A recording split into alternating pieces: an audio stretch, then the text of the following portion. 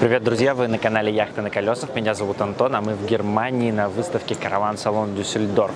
Сегодня мы снова на стенде Бюрснер. Э, решили посмотреть еще один прицеп, компактный.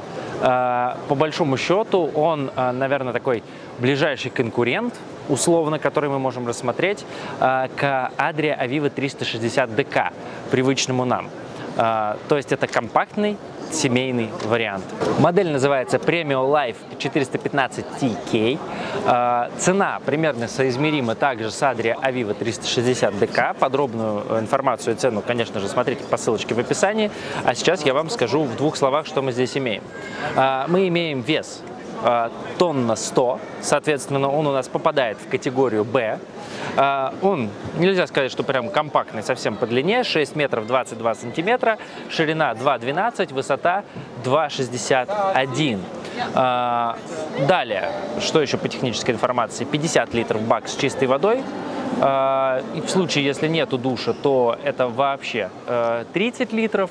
А, соответственно, это может быть опционально решено. Дальше внутри посмотрим, есть ли душ конкретно в той модели, которая представлена здесь.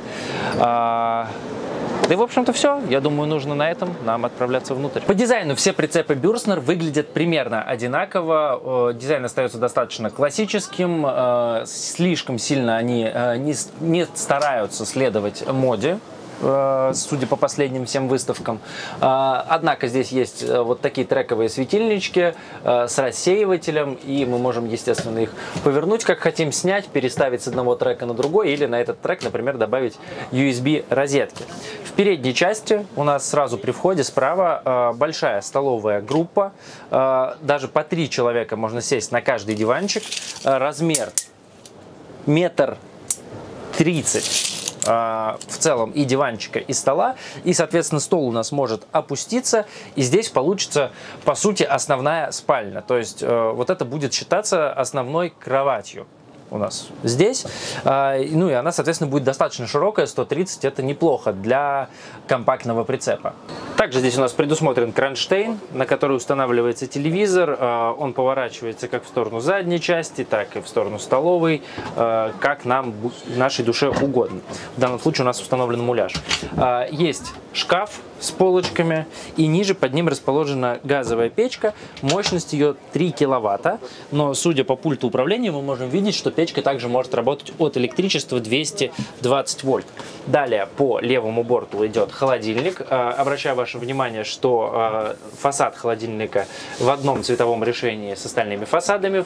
Холодильник у нас компрессорный, работает исключительно от электричества. Объем 130 а, литров, как указано в описании описании.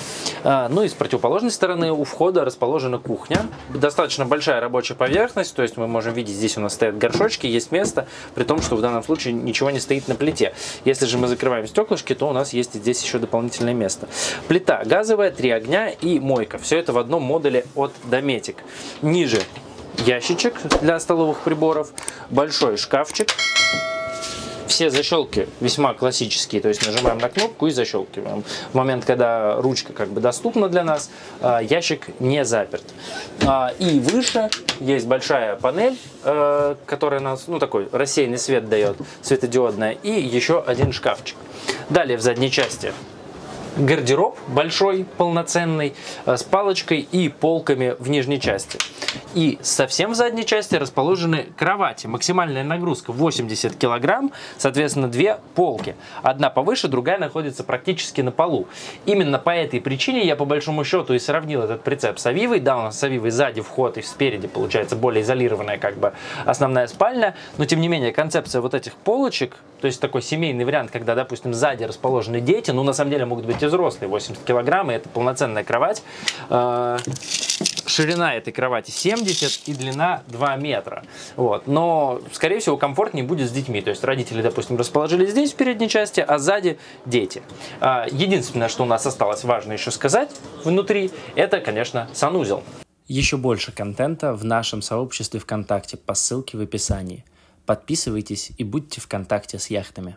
Санузел достаточно компактный. По сути, мне здесь некуда сделать шаг влево, шаг вправо. Я просто могу здесь стоять и вот, грубо говоря, корпусом повернуться. Есть туалет Тедфорд с электросмывом, полочки достаточно большие в задней части. Ну и, конечно же, раковина, углубленная в столешницу. А, у нас здесь версия с душем так сказать, интрига раскрыта. Вот эта шторка закрывает фасады, а если мы потянем на себя кран, то получим таким образом э, душ. Снаружи в задней части у нас есть багажный отсек, так сказать. Э, если мы его откроем, то, конечно же, увидим кровать, которая расположена в задней части. Но ее можно поднять зафиксировать, и тогда мы получаем весьма просторное место для перевозки и хранения вещей. Например, сюда могут поместиться небольшие велосипеды. Но даже если мы кровать опустим, все равно у нас внизу останется немного места для того, чтобы сложить какие-то сумки и чемоданы, когда мы стоим на стоянке. Bürstner Active Premium Life 415 TK мы сегодня с вами посмотрели. А, пишите в комментариях ваше мнение по поводу Bürstner, по поводу данной планировочки. Всю недостающую информацию, которую я не сообщил в ролике по тем или иным причинам, вы найдете по ссылке в описании или можете задать ваши вопросы в комментариях. Мы всегда им рады. Также не забывайте подписываться на телеграм-канал, где вы можете попросить нас снять какие-то конкретные модели, а мы постараемся учесть ваши пожелания. А, и, конечно же, на этот канал, чтобы не пропустить другие ролики из Дюссельдорфа. Мы смотрим разных производителей, разных разные бренды э, в разном ценовом сегменте. Э, интегралы, полуинтегралы, дорогие, дешевые э, относительно. И, конечно же, прицепы, как сегодня. Меня зовут Антон, а это канал «Яхты на колесах». До новых встреч. Пока.